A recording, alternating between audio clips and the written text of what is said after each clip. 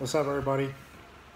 I hope everybody finds themselves good, healthy, and uh, most importantly, in uh, in the times that uh, our TVs and our sources of entertainment, quote unquote enter- entertainment, are uh, are leading us into some very um, a, a very weird state of mind sometimes, right? If you can get if you're the type of person that gets a little caught up on uh, what goes on through your TV or what goes on through your social media. Uh, I'll tell you straight up, I don't. I, I, I get a lot of this from from friends, uh, from just brothers and sisters uh, in Christ that uh, simply God's God always finds a way to to keep his uh, his kids informed. So the decision making can always lead to the best as long as you do it according to His will. And at least from everything that I've been seeing thus far and reading about this entire situation, I'm not going to dive into the details as to a lot of uh, information that you, you can find on your own about uh, how true uh, all this that is, uh, is, is going on um, and the reaction and, and what's happening and what's going to happen.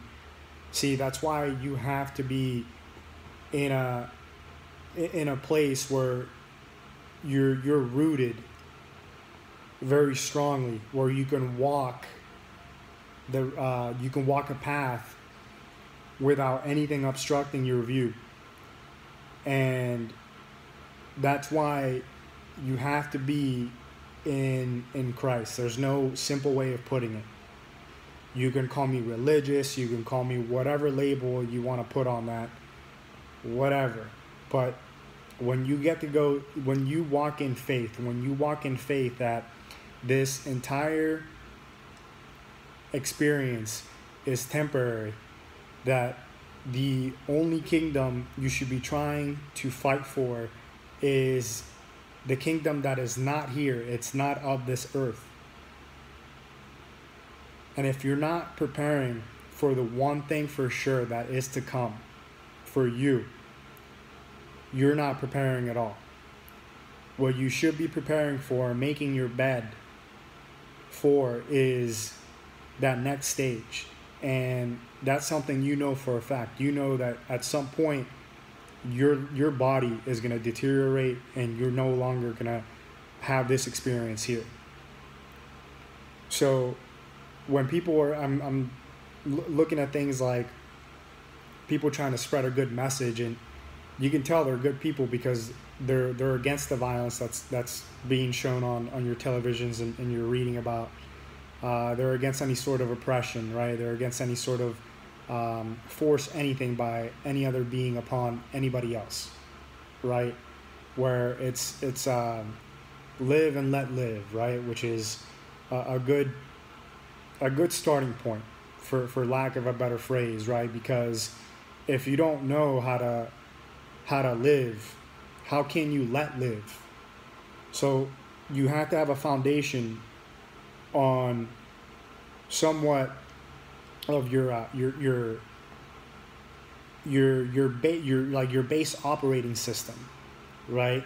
So like mine is I kind of like your worldview, right? So your your, your worldview, if it's you know the YOLO worldview, you're not gonna have very much. Um, you're you're gonna feel like you don't have a lot of purpose, right? Because if you think that uh, you popped up in this experience and this is it, and you know that after this there's nothing else, that you only live once and there's nothing after this is the only thing that comes. I'll be honest, that's a to me that's a pretty sad perspective. You know, um, I've been so rooted in faith and just having faith alone in a higher power and in a very good power that lets you know the wicked ways of this world that we're living in, and you can actually see that and measure that to a certain extent. Uh, it just gives more and more credibility to uh, a lot of a lot of scripture, a lot of uh, Jesus Christ's uh, sayings, and a lot of his sayings. Um, you know, we're not talking about your, your prosperity gospels or that you need to um, pray a certain amount of times a day. No, I'm talking about his words, the words in red that are, are written in, in a book called the Bible. And if you haven't read those words, he gives you a lot of uh, a lot of what your base operating system should be. And the way he gives it to you is uh, in a way which is for those who are really seeking to better themselves, to embed themselves to a higher purpose. And so that's why a lot of what he says comes in parables. Because if our minds, we can't fully understand how they work. But when you, for example, when I read parables, when I read his words in parables, and then he explains them, it resonates a lot more than what it would just him saying, kind of commanding you how to live. Because he's giving you a choice at the same time. He gives you that freedom to choose whether that resonates and that makes sense and you're going to do and work and carry your cross and sacrifice to start living that way or if you're going to get strong along by other men um, here on this plane as to how to live, how to take care of yourself, telling you what life is all about, telling you what you need to do with your life. One of the things that I shared with uh, one of my friends over the weekend, one of my brothers, is because you, you can, you know, I let him ramble a little bit and you could tell that this guy's got a good heart, man. This guy I was talking to has, has a heart of gold but he's he's missing what a lot of people that are really good people and have a, some great intentions are missing. And that's the the way the complete way. So a lot of these people are walking about 80% of what we consider to be the path. And i'm not saying that i'm walking 100% of it either but i'm conscious of that. And i'm trying to do my best to every time I feel like I'm getting off path, to like, mm, get myself right back on there, like force myself to get back on there. Um, and it really does wonders in terms of just you feel how much your your program mind hates that, and you can just feel how much ego and pride still lives uh, subconsciously within you. But I was talking to this guy, and you could tell that he was right there, right along walking that what I call like 70, 75% of the path. And uh, it just led me to tell him, I just re- responded to, to what he was saying about how he would, uh, how he loves his sister, and nobody could, if someone hurt his sister, like he would just, he'd kill them and all this. And I could tell this was coming from, from a good place, a place of love, not a place of, of hate. And I just told him, like, look, man, I'll say this one of the most powerful things that you can master, that anybody can master, is be- being able to forgive somebody or something right on the spot. Because imagine if the majority of us had that ability, if we were able to forgive right on the spot as soon as we felt wrong about anything, no matter how big or how small. Think about that for a second, right? Think about a world that would be very forgiving, right? And I'm telling you, no matter what. But again, there's a certain there are certain steps you have to walk in, you have to get to to be able to to even work on yourself in that way, to be able to be conscious enough to forgive things right on the spot. Because you have to have a base being able to, to number one see that there's nothing worth hanging on to here meaning there's nothing worth fighting for here. It's all gone. It's all gonna be gone so it's all gone. There's nothing hanging on to here. There is no kingdom for us to fight for here. And everything you're seeing is perpetuating the complete opposite that there are such bad people that are going to come after the good people and the good people have to stand up and start fighting back when you understand what God's commandment was, thou shalt not kill, it doesn't say thou shalt not kill unless evil comes after you. Or it doesn't say, thou shalt not kill until you feel like you're put in a corner and you're only defending yourself. No. And it says, thou shalt not kill, period. Okay? So that's where your faith and how faithful you are in Christ comes into play. Because if you, you can say you're faithful and you can say you're walking his way. But again, that's honoring him with with your with your lips and not with your heart. Because he says it right there in the Bible too that there's many that will say that there's many that will honor him with his lips but but their hearts are far from him.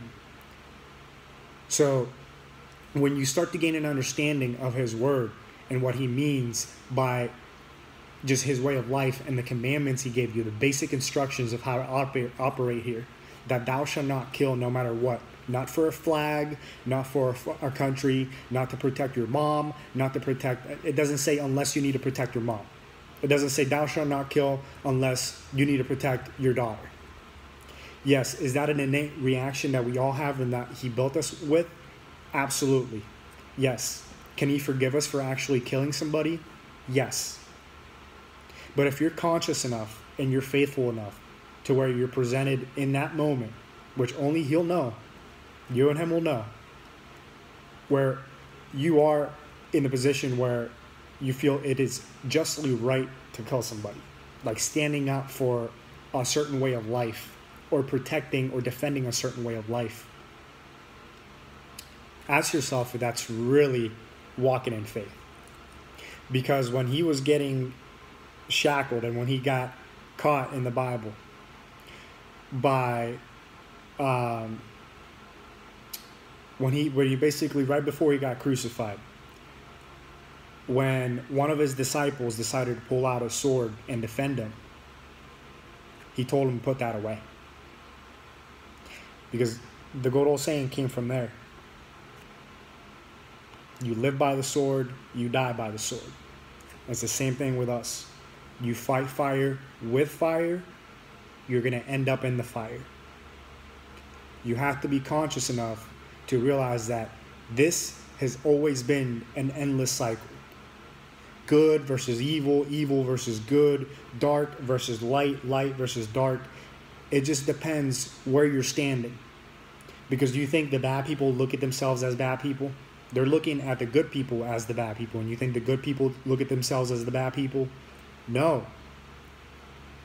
So you need to realize once you come to that realization, you realize that the only way to break the cycle, the only way to initiate change is by not only changing yourself, but knowing what and how to change yourself. What to change yourself by and how to do that. That's why there is a base that he gave us, and it's being attacked, and you can see it being attacked. You can call yourself you're not religious, you don't believe in that, you don't believe in God, you don't believe in. Ask yourself then, what do you believe in? And what is your base operating system? Do you, you honestly think that doing good, let me rephrase that. You honestly think that doing what you consider to be good, your definition of good might not be the, the same definition for anybody else. So what's what's the default line for everybody?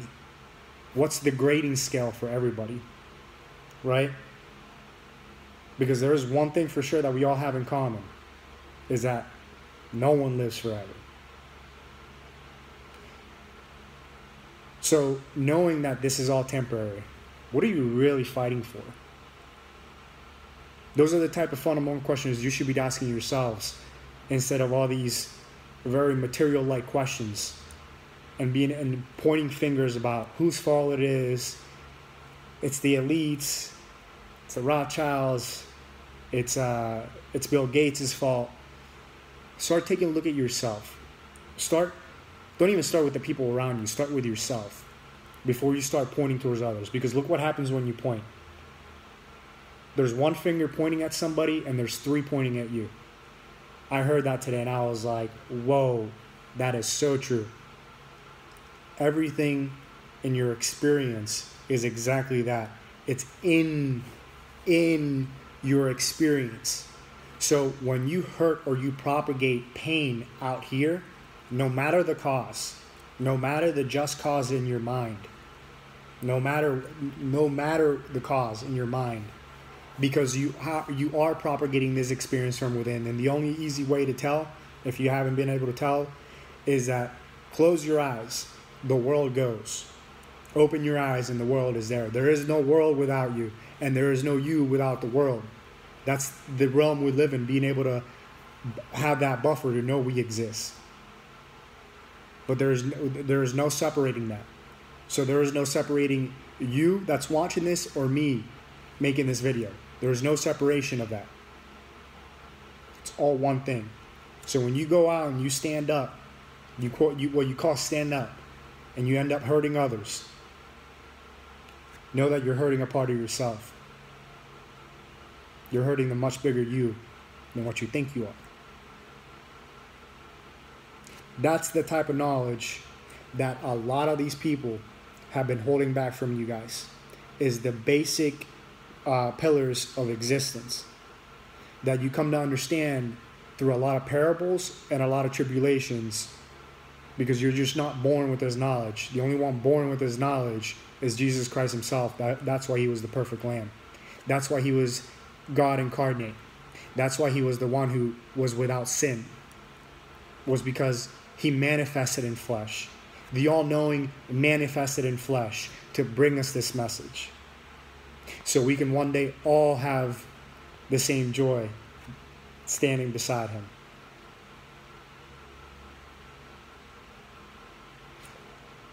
My people, look for deeper meaning in your experience.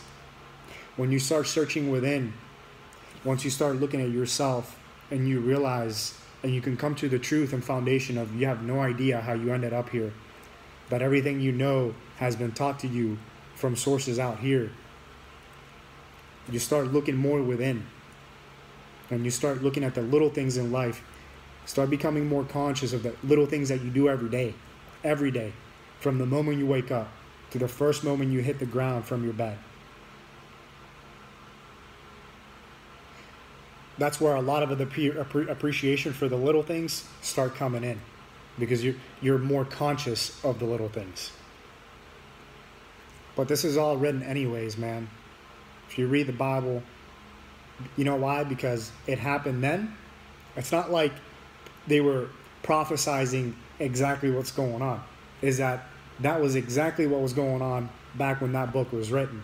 You know why? Because it's a cycle and it keeps happening. That book is about how to break that cycle. The book is about how to break that cycle. You want to end this once and for all. You want to feel, you want to lift that burden off of your consciousness, off of your experience, like you call your life. You want to lift that monkey, you want to get that monkey off your back. Start reading that book, specifically those words in red.